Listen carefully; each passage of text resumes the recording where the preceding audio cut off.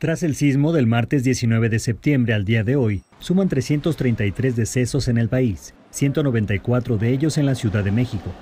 Con el plan puesto en marcha la víspera para la reconstrucción de la capital, se atenderán 10.000 inmuebles catalogados en color verde, entre 1.200 y 1.300 en color amarillo y 500 en color rojo.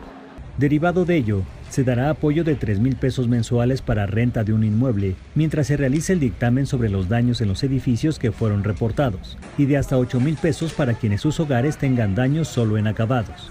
Para las personas que viven en inmuebles calificados como rojos, cifra que ronda los 500, se podrá acceder a un plan de hipoteca a largo plazo para que puedan adquirir una casa.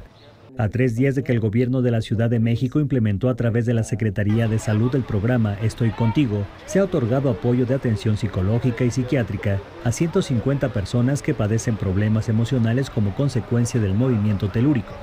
A dicho programa se incorporaron ayer más de 400 profesionales de la salud mental, voluntarios, quienes han sido capacitados en intervención en crisis y manejo de primeros auxilios psicológicos con un enfoque en situaciones de desastre.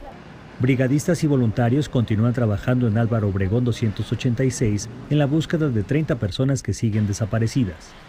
Han regresado a clases alumnos de 202 escuelas públicas de nivel básico y 35 de nivel medio superior, así como 68 guarderías ubicadas en la Ciudad de México.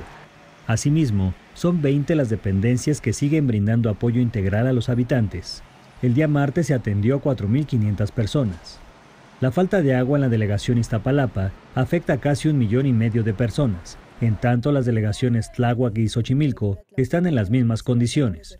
Las carreteras operadas por caminos y puentes federales que conectan con la capital mexicana siguen sin cobrar peaje. Asimismo, el servicio de transporte público, metro, metrobús y trolebús continúan con entrada libre. Con información de Verónica Torres Lizama, Notimex.